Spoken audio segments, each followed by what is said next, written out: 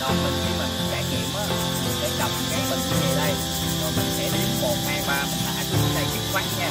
Và khi cho cá muốn là mình không được là nhấp là nhấp nhấp nha. Tại vì bản thân của con cá này nó là con cá nhảy nó bay bên kia. Mình càng càng nhấp là nhấp là nó càng phóng lên nhảy đó. Rồi mọi